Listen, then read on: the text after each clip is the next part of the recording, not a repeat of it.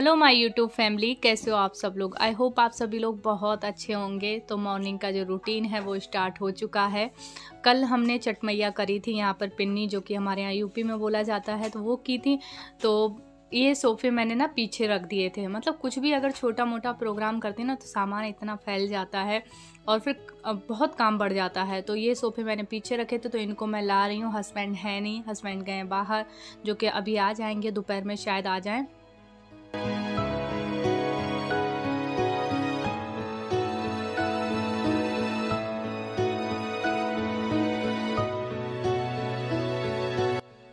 और यहाँ पर मम्मी जी ने ये वाला गद्दा बिछा दिया था आ, लेटने के लिए पर वो अभी मैं हटा रही हूँ क्योंकि ना ये वाला गद्दा ऊपर से अगर बिछा देते ना तो जो चादर है वो सेट नहीं हो पाती है। तो इसको वापस से मैं स्टोर रूम में रख के आती हूँ और दूसरी चादर यहाँ पर फैमिली कैसे हो आप सब लोग? आई होप आप सभी लोग बहुत अच्छे होंगे।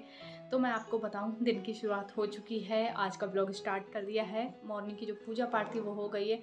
और मैं आपको बताऊँ पाठ मेरे नहीं हो रहे हैं। कल भी मेरा नहीं हुआ था क्योंकि कल चट मैया कर रही थी तो पाठ में पूरा एक घंटा लगता है। लंबे लंबे पाठ रहते हैं दस दस पंद्रह मिनट लगते हैं उनको पढ़ने में। अब आप लोग पूछोगे कि आप अपने पाठ बताइए क्या क्या करती हो? तो कभी भी ना अपने जो पाठ वगैरह करते हैं, अपने इष्ट देव का कभी हम प्रचार नहीं करना चाहिए और आप लोग भी जो आप पाठ कर रहे हो वो ज़्यादा किसी को शेयर नहीं करना चाहिए, चुपचाप तरीके से करते हैं। खाना और पूजा दो चीज़ें छुपा के ही करना चाहिए। तो आप लोग पूछोगे फिर हमें किसका करना चाहिए? देखो कामना पूर्ति के लिए आप गणेश जी का पाठ कर सकते हैं, गणेश चालीसा कर सकते हैं और किसी की शादी में प्रॉब्लम आ रही है तो भोले बाबा पार्वती जी का चालीसा कर सकते हैं। अगर मतलब संतान की प्राप्ति के लिए आप दुर्गा अष्टमी के व्रत शुरू करते हैं, उनका पाठ करके उनकी आराधना करिए और चलो बहुत हो गया। तो इस तरीके से आप कर सकते हैं। तो मेरा आज भी कोई पार्ट नहीं हुआ क्योंकि जी आई जाने वाले थे तो वो तैयारी में नायशा को स्कूल अनिक का भी सुबह को आज, आजकल थोड़ा बहुत ज़्यादा काम रहता है। और मैं यहाँ बैठे बैठे सोफे पे देख रही थी कि भोले बाबा बड़े अच्छी धूप सेक रहे हैं। देखो, दिखाओ। आप लोग पूछ रहे थे कि भोले बाबा का जो शिवलिंग है वो किस तरफ़ रखना चाहिए? तो उत्तर दिशा की तरफ़ उसकी जलाधारी होना चाहिए और पूर्व दिशा और कहीं दिशा में नहीं रखते हैं। जो, जलाधारी का जो मुँह होता है वो उत्तर दिशा में होना चाहिए। ऐसे रखते हैं भोले बाबा। तो मैं इधर से देख रही थी, मैंने कहा, अरे वाह, बड़े अच्छे भोले बाबा धूप सेक रहे हैं। धूप आ जाती है इस टाइम तक, नौ, साढ़े नौ, दस बज रहे होंगे।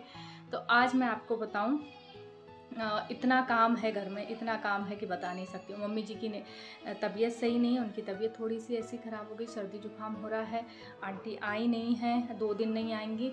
तो मतलब घर में ना कुछ भी आप छोटा मोटा प्रोग्राम करो, चाहे कुछ भी करो, पसारा इतना फैल जाता है, इतना सामान फैल जाता है, और पतिदेव जी भी नहीं है, वो गए हैं अपनी ड्यूटी पे, आज उनको थोड़ा सा बाहर उनका चल रहा है तो वहाँ गए हैं, शायद बारह एक बजे तक आ जाएँ। तो बस जो कुछ है मुझे अकेले ऊपर नीचे करना है। तो मैं नीचे ऊपर से झाड़ू लगाते हुए नीचे जा रही हूँ। ऊपर भी मैंने लगा दी है झाड़ू। वो सॉरी नीचे भी लगा दिया आधे में लगाई। बर्तन ढेर हो गए हैं। तो वो भी मुझे सब क्लीन करना है। तो चलो आप लोगों के साथ में शेयर करती हूँ। पहले मैं भोले बाबा दिखा दूँ अपने। ये देखिए ठंड में हमारे भोले बाबा सेक रहे हैं धूप। हम्म, सुबह मेरी मॉर्निंग की पूजा हो गई थी। देख सकते कितने सुंदर लग रहे हैं। बढ़िया इस टाइम तक धूप आ जाती है और बालकनी को भी मुझे साफ़ करना है सब। आज बहुत काम है।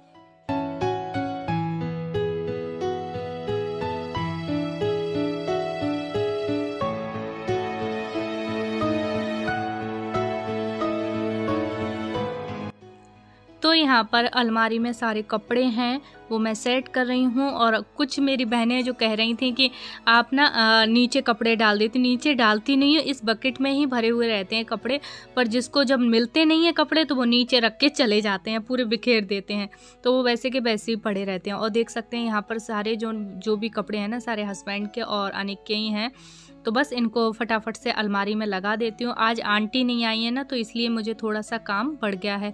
तो ऊपर नीचे मैं लगी हुई हूँ झाड़ू लगाते हुए मैं ऊपर से ही नीचे लेकर जा रही हूँ। सीढ़ियों पे मैंने लगा लिया है तो बस अब मैं नीचे झाड़ू लगाऊँगी। गैस वगैरह नीचे मुझे क्लीन करनी है। Uh, कल मेरे हस्बैंड ने पालक पनीर बनाया था तो पालक पनीर किचन की टाइल्सों पे भी पहुँच चुका है। तो बस वही मैं पूरा किचन की टाइल्स वगैरह सब कुछ क्लीन करना है। सुबह बच्चे भी वो सॉरी नाइस्ता स्कूल गई थी और पिंकी दी भी और जीजा जी गए थे तो खाना तो हमारा बन चुका है। बस थोड़ी सी रोटियाँ सेकनी, सब्ज़ी वगैरह सब बना हुआ रखा है। तो बस अभी मेरा मेन वो है क्लीनिंग ही करना है और बर्तन वगैरह बहुत इकट्ठे हो गए हैं। तो बस वो सारी चीज़ें मुझे आज करनी है।